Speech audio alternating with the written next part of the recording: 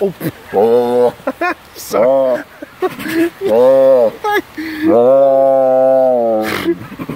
I'm sorry. Oh, I.